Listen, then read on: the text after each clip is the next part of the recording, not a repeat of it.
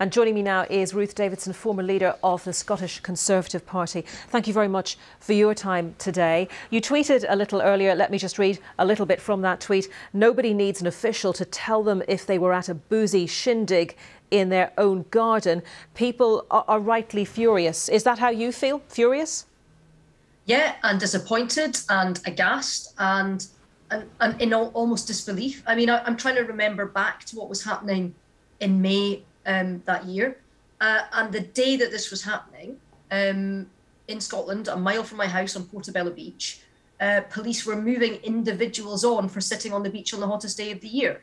Um, you know, people were being told by police to get back in their house. Less than an hour before this is all supposed to have kicked off, you had a cabinet minister on national television telling people that they could only meet up with one person outside. Um, I don't know if he knew that there was a, an email going round from you know a senior civil servant asking 100 people to take a bottle into the back garden 20 yards away. I, I, I mean, it is utterly appalling. And, and I think it, it was right in your report there that you had from Nick Eardley to say that um, it, it, you know, it, it's not just the Labour Party that are angry about this. There are plenty of my parliamentary colleagues who have no idea what anyone in, in that email chain was thinking uh, uh, or how. You know, this is utterly indefensible. It cannot be defended. The BBC has two sources saying that they saw Boris Johnson at that drinks event along with his wife. Why do you think he is yet to confirm that he was there? He has neither confirmed nor denied. Look, I, I don't know. Um, you know, it's, it's pretty easy for me to say I wasn't at a drinks party in, in the number 10 garden. I don't need Sue Gray to say that for me.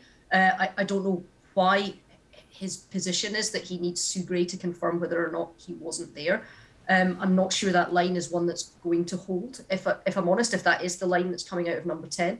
Um, I, I, I mean, I just, I cannot even understand. Again, if you look at the timeline for this, my understanding is the Prime Minister had only been out of hospital having been severely ill with COVID for a few weeks when all of this was supposed to be kicking off. So I don't understand the, the private secretary that sent this email around thinking it was at all possible. I don't understand the, the dozens of people who appear to have gone. I can't understand if the prime minister attended, why on earth he thought that that was um, the right thing to do. I, I, I, literally, given where we all were in our own lives, given everything that we know, the people that I know that were, you know, unable to hug their mum at their father's funeral and support her. You know, people are furious about this, what they gave up, how difficult it was, what happened to their own lives. And, and to think that this was going on, you know, it just, it, it, it, it like I was saying, it, it is indefensible. It cannot be defended. Uh, Michael Fabricant MP has been tweeting as well today. He has been uh, offering a defence. He says, was the Downing Street Party a flagrant breach of the rules, as Labour are happily claiming Sue Gray will decide, but here are the facts. And then he goes on to say there are multiple offices in the Downing Street complex with key workers yeah. who know, are all I, operating I, closely I, together. and you've, you've probably seen the tweet, just reading for the benefit of our, our viewers. Is that, is that a defence? Well, look, his point appears to be that lots of key workers were working in a building and then they went outside um, and had a drink afterwards. And because it was the same people that worked in the building, going outside for a drink means that it was all fine. But you know what? There were tens of thousands of key workers across the country. I don't think that hospital nurses and doctors were in the hospital garden after their shift ended having a glass of rosé. I don't think that bin men were playing beer pong back in the garage when they'd finished their rounds. I don't think that people uh, you know, making sure that the, the country still had food in Morrison's or Tesco or Asda. You know, we're, we're having a big shindig get together um, in the loading docks when their shift finished. I, I don't think if that's the line that's coming out of Downing Street, then it's pretty weak, and I don't think it's going to fly.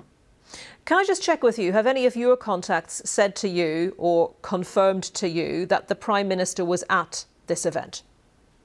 I've not had any conversations about whether he was there or not. I don't know if he was there or was not, but he knows whether he was there or not, and he doesn't need to Sue Gray to tell people that.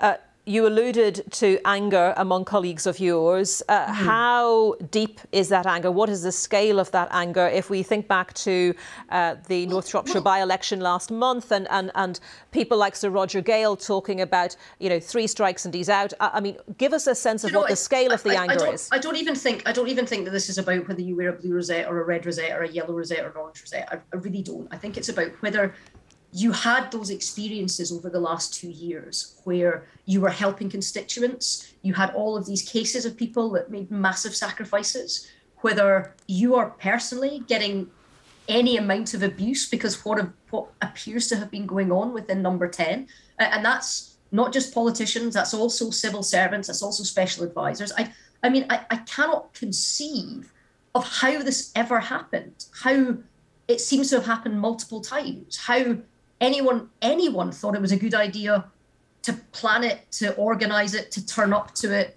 and nobody just said, "Well, hang on a minute." Hang on a minute, lads. We're, we're telling everybody else that they're not allowed to meet a single person. We're telling them they can't go to relatives' funerals. We're telling them they can't visit elderly people in care homes. We can't. We're telling them they can't visit dying relatives. Like, how is this defensible? It, it, you, you know, and, and you don't have you know it's not about being a politician it's about being a human being that lived in the united kingdom during this time and you, you know, uh, if number 10 doesn't understand the anger that is out there, then they're going to find out that anger pretty soon in the next couple of days because everybody has some form of sacrifice or somebody important in their life that gave a huge sacrifice that will never forgive whatever went on because it it just makes a mockery of this idea that we that we were doing a national endeavour to try and keep each other safe. Uh, do, do you think Martin Reynolds, uh, Boris Johnson's uh, principal private secretary, who wrote this email, ought to resign? Do you think, for uh, the sake of the Conservative Party, that Boris Johnson needs to consider his position at this point?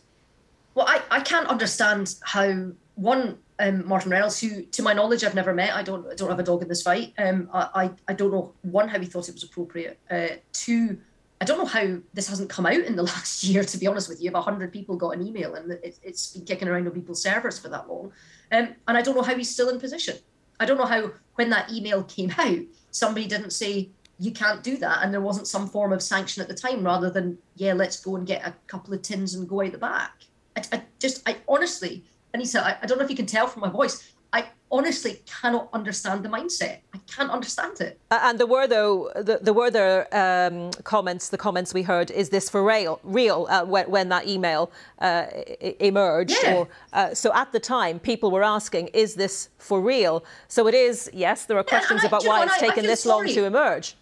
Well, I also feel sorry for you know junior civil servants who you know aren't very well paid. You know, it's a very structured ladder down the bottom who were questioning this um, uh, and just being told that it, that it was all all fine because nobody wants to work in a compromised working environment and that is an enormous compromise that and position that they were being put in and an unfair one and and leadership is about setting an example and leadership and, and let me just bring you back sorry to interrupt. people they can't do something. Let me just bring you back you and, and, sure and finally people stick to the rules too. Finally if i may that question of Boris Johnson's position. Do you think that many of his MPs are, are, are fed up with all of this? Look, I mean, I think they got assurances before Christmas at the last flurry of these that um, the, the Sue Gray investigation was put a full stop to it. It hasn't. There is huge public anger about this. There's only two ways in which a Conservative Prime Minister, sitting Conservative Prime Minister goes. One is that they fall on their sword, and I think that's unlikely to happen. It's clear that the Prime Minister wants to, to brazen this out. And, and to be fair, we still don't know whether he was there or not. Uh, we still don't know whether what he said to Parliament was um, misleading Parliament or not, and that's a very serious charge. And the second way is that a number of MPs write a letter to the 1922 committee. I think that um, nobody's going to be taking their letter out of the 1922 p- committee after this event, let's put it that way. Okay, uh, Ruth Davidson, thank you very much for your thoughts on all of this. Uh, Ruth Davidson, there, uh, former leader of the Scottish Conservatives.